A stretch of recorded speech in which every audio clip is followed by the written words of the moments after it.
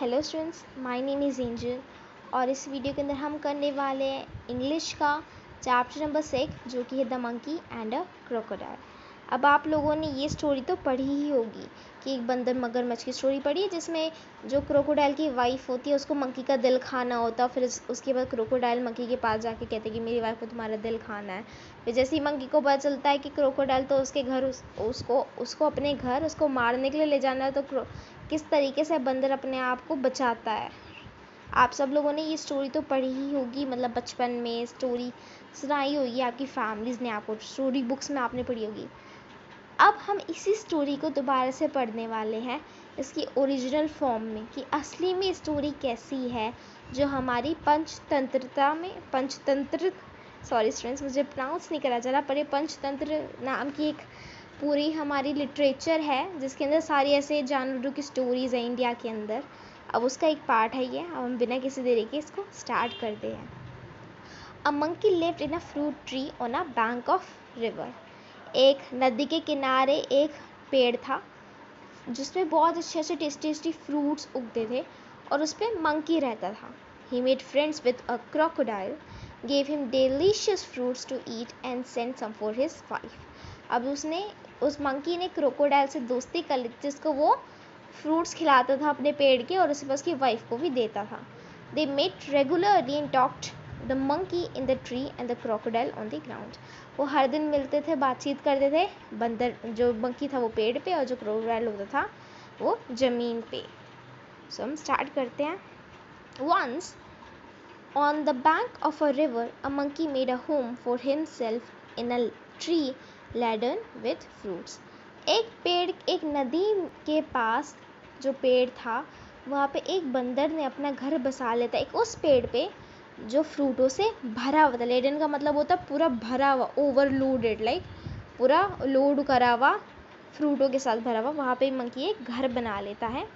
He lived in it happily, eating to his heart's content मतलब अपना दिल भर के वो जो जितने फ्रूट्स चाहना खाना चाहे वो खाता था। The monkey was happy, but lonely and wanted a companion to talk and to share the fruit with. अब मंकी खुश तो था क्योंकि उसको खाने के लिए तो टेस्टी फ्रूट्स थे। लेकिन वो अकेला था उसको एक दोस्त चाहिए था एक कंपेनियन चाहिए था बात करने के लिए जिससे वो अपने फ्रूट्स शेयर कर पाए but there was no one around कोई था ही नहीं नॉट इवन अनदर मंकी कोई और मंकी भी नहीं था till one day a crocodile appeared on the river side लेकिन एक दिन एक क्रोकोडाइल रिवर के पास आ गया hello there, said the monkey. Do you live in this river? Would you like to eat some fruit? वो कहता है कि हेलो कि क्या तुम इस नदी के आसपास ही रहते हो क्या? मैं, क्या तुम फ्रूट्स खाते हो? Good morning said the politely मतलब एकदम प्यार से। I did come here in search of food for myself and my wife हाँ मैं आया तो था अपने लिए और अपनी वाइफ के लिए खाना लेने के लिए। Nice of you to offer me fruit मुझे सुन के खुशी हुई कि तुम मुझे फ्रूट्स देना चाहते हो। The monkey plucked some from the nearest branch and threw them down जो मंकी होता है वो थोड़े से जो फ्रूट्स होते हैं उनको प्लक करता है मतलब तोड़ता है पेड़ से और उसके बाद वो पानी में डाल देता है। The crocodile found them delicious crocodile को भी वो बहुत टेस्टी लगते हैं। Thanks he said may I have some on my next visit Certainly, as many as you like, and some for your wife too, said the monkey. Do come again, I am rather lonely here. अब जो crocodile होता है, वो कहता है कि thank you तुम fruits देने के लिए. फिर वो कहता है क्या मैं अगली बार आऊँगी तो क्या तुम दोबारा मुझे दोगी? तो मंकी कहता है, ठीक है, मैं तुम्हें भी दूँगा और तुम्हारी वाइफ को भी दूँगा। तुम दोबारा आना। मैं यहाँ पे काफ़ी ज़्यादा लोनली हूँ। The crocodile visited the monkey regularly फिर जो क्रोकोडाइल था, वो मंकी को रेगुलरली मिलना शुरू हो गया। And eat the fruits which his host threw down host का मतलब मंकी जो होस्ट है वो उसको हर टाइम फ्रूट देता था और क्रोकोडाइल उसको खाता था He took some for his wife. The monkey and the crocodile were now the best friends. They talked and were never tired of talking. They talked about birds and animals, about the village nearby, and the difficulties villagers faced in raising good crops for the lack of rain. वो बहुत सारी बातें करते थे और कभी भी बातों से थकते नहीं थे। वो बात करते थे एनिमल्स के बारे में बर्ड्स के बारे में, कि कैसे जो विलेज में रहने वाले लोग हैं, उनको भी परेशानियाँ होती क्रॉप्स को ग्रो करने में, कि यहाँ बारिश कम होती है। One day the crocodile stayed with monkey longer than usual एक बार जो क्रोकोडाइल होता है, वो मंकी के पास थोड़ी ज़्यादा देर तक रुक जाता है।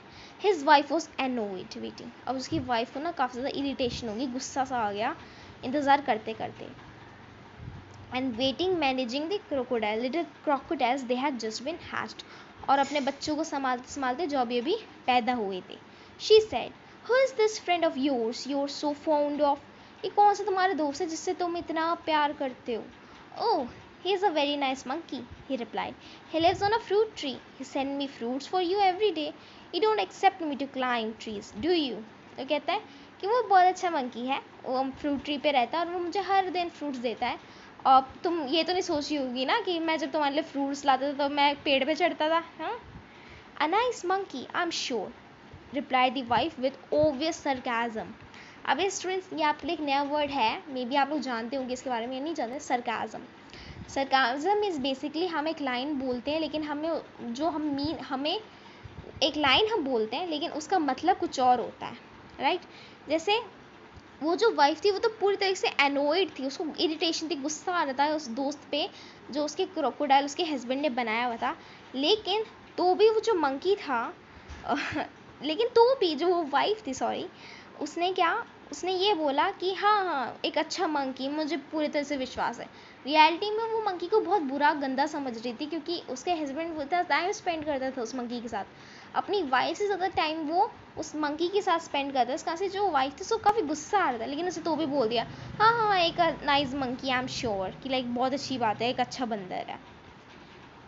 If you ask me this monkey should be my food अगर तुम मुझसे पूछो ना तो ये जो मंकी है, जिस जो तुम्हारे दोस्त है मेरा खाना होना चाहिए I want eat his heart so much मुझे उसका दिल बहुत खाना है। यार, मेरा मन कर रहा है। What a foolish thing to say वो कहते कि क्या तुम ये पागलों वाली बात कर रही हो। क्रोकोडाइल शाउट करता है।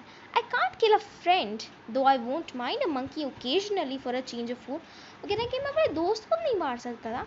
हाँ वो बात अलग है कि थोड़ा बहुत अपने स्वाद को चेंज करने के लिए हमें शायद बंदर खाने चाहिए, लेकिन मैं अपने दोस्त को नहीं मार सकता। You bring him here ordered his wife I want to see him so you can eat him never declare his husband वो कहता है कि तुम उसको यहाँ लेकर आओ। मुझे उसको देखना है उस मंकी को। फिर उसके जो हस्बैंड होता है उसको समझ आती कि वो उसको क्यों बुला रहा है मंकी को उसकी वाइफ खाने के लिए। वो कहते कि तुम अपने उसको खाना चाहती हो? नहीं मैं उसको नहीं बुलाऊँगा। His wife was furious and she dived in, in the, to hide herself at the bottom of the river, leaving the little ones to pester their, by their husband. अब जो उसकी वाइफ है वो काफ़ी ज़्यादा गुस्सा हो जाती है और पानी के रिवर की बॉटम में जाके बैठ जाती है। और फिर वो अपने बच्चों को अपने हस्बैंड के साथ छोड़ देती है उनको संभालने के लिए। The crocodile was in a serious dilemma अब डिलेमा का क्या मतलब होता है? डिलेमा का मतलब होता है एक प्रॉब्लम में फंस जाना है कि तुम्हें समझना है कि तुम्हें क्या चूज़ करना है या कौन सी चॉइस लेनी है। He loved his wife and was very fond of his friends too वो अपनी वाइफ से बहुत प्यार करता था, लेकिन वो अपने दोस्त से भी बहुत प्यार करता था। Finally he decided to be on the side of wife लेकिन लास्ट में उसने डिसाइड करा कि अपनी वो वाइफ के साइड है। She was his life partner after all कि वो उसकी लाइफ पार्टनर थी after all I know it's a sin to betray a friend, but I have no choice, he said to himself. I'll invite the monkey home and hope for the best. वो कहता है मैं जानता हूँ ये एक सिन है यानी एक बुरी चीज़ है ये एक पाप है। एक दोस्त को बिट्रे करना लेकिन मेरे पास तो कोई चॉइस ही नहीं है। उसने खुद को बोला मैं मंकी को इनवाइट करूँगा घर आने के लिए और मैं सोचता हूँ कि जो भी होगा अच्छा ही होगा। My wife wants to you for over a me dear friend the crocodile कहता है अपने मंकी को जब वो उससे अगली बार मिलने जाता है। यू मस्ट को come home with me today वो कहता है कि तुम, तुमने आज मेरे साथ मेरे घर आना होगा। With pleasure said the monkey I am no swimmer but I can ride on your back and they set out अब वो कहता है कि ठीक है कोई बात नहीं हम चलते हैं। फिर वो मंकी कहता है उसको कि मैं कोई स्विमर तो नहीं हूँ मुझे स्विमिंग नहीं आती बट मैं तुम्हारी पीठ पे चढ़ जाऊँगा और उसके बाद हम लोग जा सकते हैं और फिर इस बार वो निकलते हैं they set out In the middle of river where the current was strongest, the crocodile could not no longer hide his intentions अब वो रिवर के बीच में ही थे जहाँ सब पानी का बहाव सबसे ज़्यादा था। और क्रोकोडाइल अब ना, अब पेट में अपनी बात रख ही नहीं पा रहा था।